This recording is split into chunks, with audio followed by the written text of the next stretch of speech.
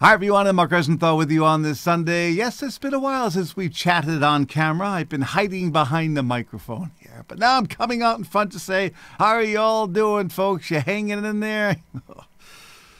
Oh, it's been tough, let me tell you. Really, I mean, a lot of folks are not happy, but why even discuss it? We just need to find a way to get through all this nonsense, and eventually, hopefully, we come out the other side. All right, the weather. Well, you know, there's been a lot of talk about big snows coming for New England and all this stuff. I know the first storm's going to be rain, but the second storm next weekend could be snow. I don't see that. I just see another rainstorm next weekend unless everything shifts further to the east.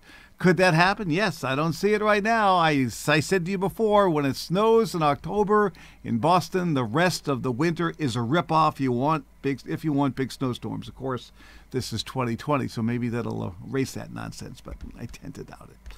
All right, let's get into it. Here we go. Speaking of crazy things, how about Hair by Hannah? No, wait a minute. Hair by Hannah's not crazy. It's my hair that's crazy. I just Wait to see her. She put some blonde into it. Cut your hair, she says. Cut your hair. I'm not cutting my hair. It's just not happening. But Hair by Hannah, seriously, she's a major league talent.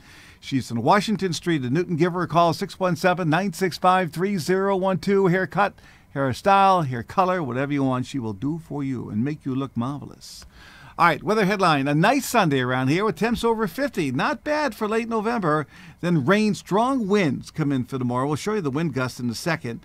And then after that, it turns cooler uh, late Tuesday for the rest of the week, but not really that cold. And again, there's no snow in sight. For today, partly sunny. It'll be mild, 50 to 55 degrees, increasing clouds. Overnight, not cold. It'll be in low 40s. Let's check out the 70 forecast together. Tomorrow's cloudy, rain by midday, becoming heavy during the afternoon, becoming windy. We're in the 50s, actually jumping over 60 Monday night. Occasional showers on Tuesday, low 60s early, then temperatures fall.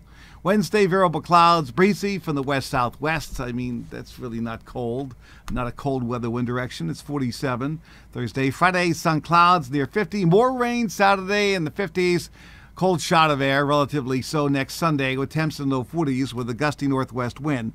Now, this is off the NAM. I want to talk about the wind gust here by about 7 o'clock Monday night in this orange shaded area. And here, wind gusts are over 60 miles an hour from Boston to South Shore, over the Cape and the islands, the Rhode Island coast. There could be power outages in this entire zone. So we need to watch out for that with very strong south and southeast winds blowing at that time.